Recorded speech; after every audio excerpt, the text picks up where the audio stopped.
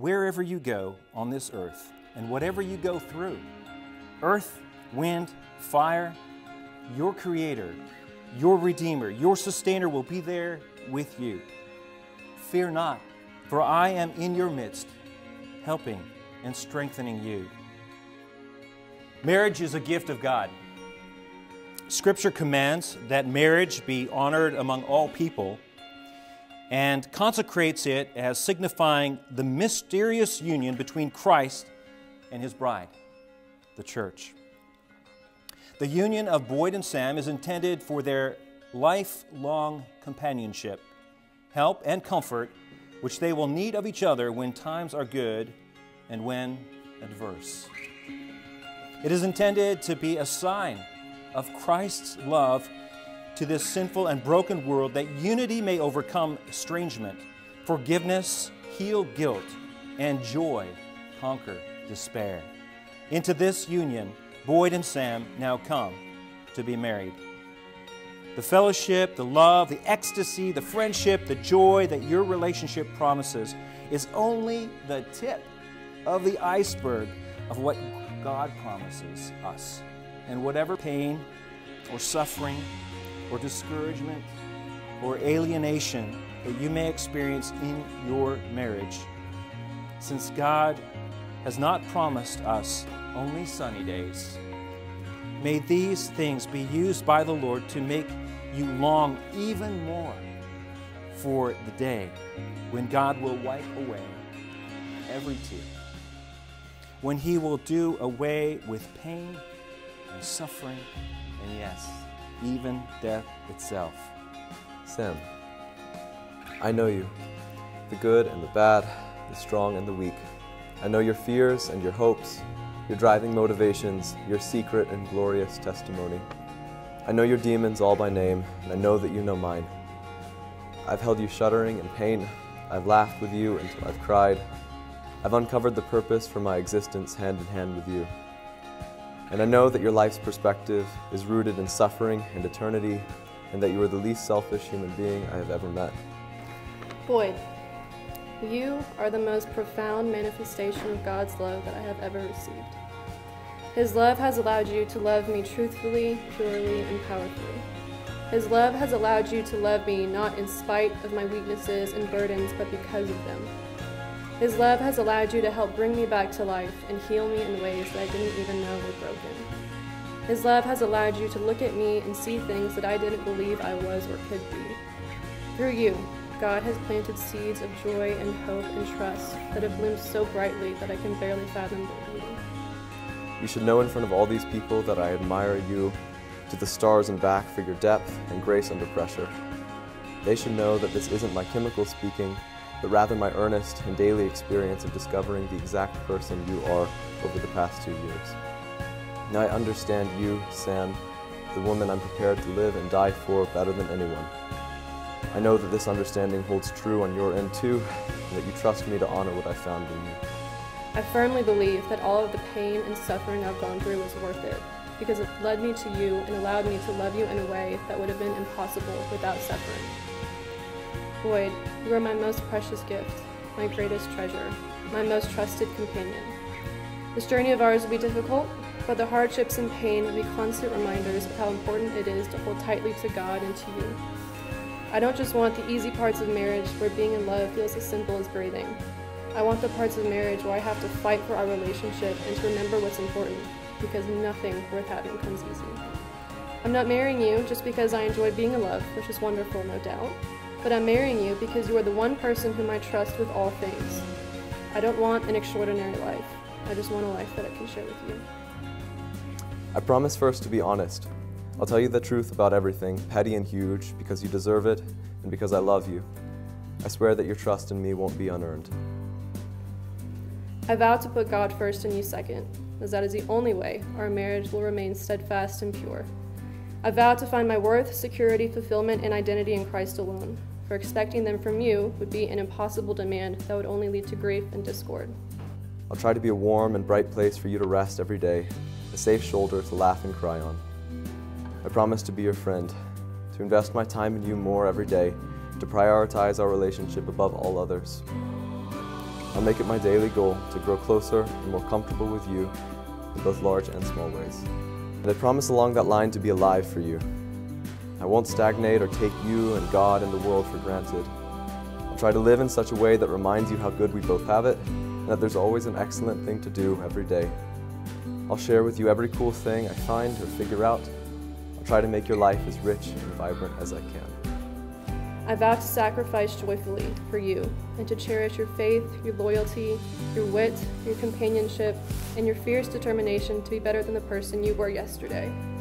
I vow to always have your best interest in mind and to tell you when your actions are causing harm to you or to those around you. And our life together will not always be easy, but don't be afraid of me flaking out when there's pain and anxiety. I won't. I swear to be there, especially in the hard times. I promise that when you're afraid, suffering, tired, or sad, I'll be there to lift you up if I can, if not, at least shoulder the burden with you. I vow to listen to you openly when you critique me and to not let pride blind me to my faults. I vow to never put comfort or convenience or vanity over our marriage and to hold honesty in the highest regard. I vow to always choose you especially when it would be easier not to. We will not always be in love, but that's not the point of loving. I promise that I'll be your husband over all emotions. We'll get angry and annoyed, bored and unkind. We may each wonder if the other person's worth it. I swear to remember and remind you who we are. I promise to be safe and steady and loving, even if neither of us cares in the moment. I vow to always remember that I deserve nothing, and that everything I have, no matter how small or insignificant, is a gift from our Father, who loves me with a love that I do not deserve, and a love that I will strive to show you every day. I vow to always be your home, a place where you are loved honestly and supported unconditionally. I vow to faithfully walk through all circumstances with you as your God given partner, knowing that our strength comes only from Him.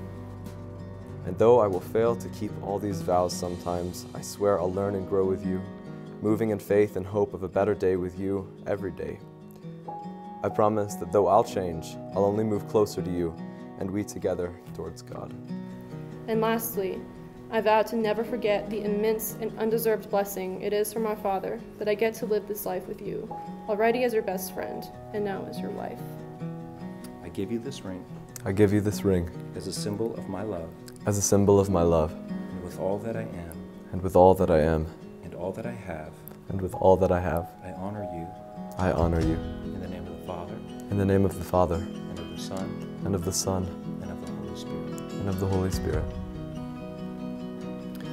I give you this ring I give you this ring as a symbol of my love, as a symbol of my love, with all that I am, and with all that I am, and all that I have, and all that I have, I honor you I honor you. in the name of the Father, In the name of the Father, and of the Son, and of the Son, and of the Holy Spirit. and of the Holy Spirit. By your mutual faith in Jesus Christ and your committing to one another together before the Lord and before all of these witnesses, and by the authority that's been given to me as a minister of the Church of Jesus Christ, I declare Boyd and Sam are now husband and wife, whom therefore God hath joined. Let no one separate. Boyd, you may kiss your bride.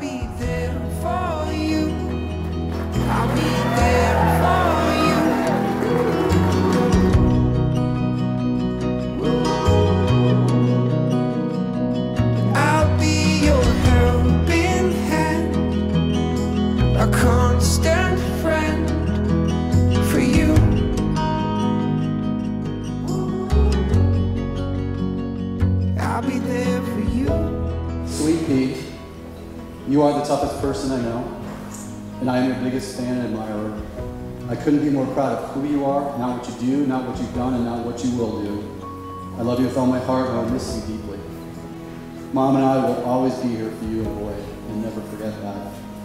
Speaking of Boyd, I've come to know him a young man who is incredibly smart, extremely creative, a great writer, painter, artist, loves to play guitar and serenade us at all times of the day, loves to read, loves to have fun, and even though we kind of give him a hard time about everything's his new favorite, what I love is that just shows a heart of just really enjoying life, and we really appreciate that about him. Louise and I love you dearly. Can't wait to see what the future holds, and we'll always be here for you too. The very first thing I heard about Sam was, Dad, I've met this girl I really respect and admire her character. and he talked about the pain she's been through and how she's persevered and grown in that. That was the first thing I heard about her. And I think that's significant. From this day forward, you're like a daughter to me. And you're always going to have that for me. That's what I wanted to let you know. Boyd, I love how your faith has grown so deep. I love your imagination and your intellect. What a great honor it's been to be your dad. And I love you. Boyd, your name means blonde warrior, and you came out blonde, so we knew you had picked the right name. And Sam, your name, Samantha Grace, means one who listens well to what is told by the Lord. And then Grace. So you have an open heart. I've seen that. Please raise your glass. They're incredible people, and I love them both very dearly. And I know you'll grow as you go, and I can't wait to see you guys work together. Love you both. I had just been born, and I remember the first thing you'd ever said to me was that you're gonna teach me how to sword fight. you're like five years old. You like didn't know how to sword fight, but you just right away you felt so protective of me. You've just been the perfect sibling to me my whole life. Sam, if you have like any idea how much Boyd likes you, I mean like just yesterday, I was just talking about a movie, I just been like, wow, that movie's perfect. And there were a couple seconds of silence, and then Boyd just really, really quietly to himself, he said, Sam's perfect. I just want to finish saying how happy I am you guys got married. You guys are literally perfect for each other. best one that I've got to see grow and flourish has been you and Sam. So, uh, well, I would say I wish you guys the best. Um, I know for certain too, that's what you have. Thank you. It's forever when it says I do. There's nothing more, nothing more.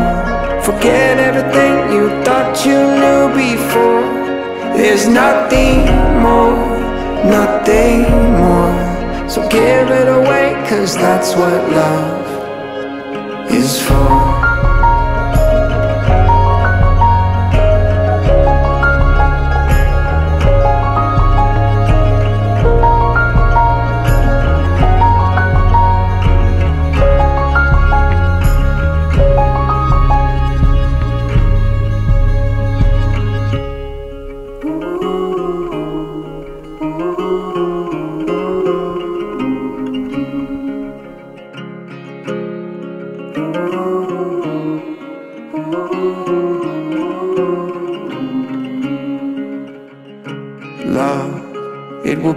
Pierce the dark. Nothing in this world can break its bond. And love, it will make its mark. It will leave no heart without its song. There's nothing more, nothing more. Forget everything you thought you knew before. There's nothing more, nothing more. So give it away, cause that's what love is for.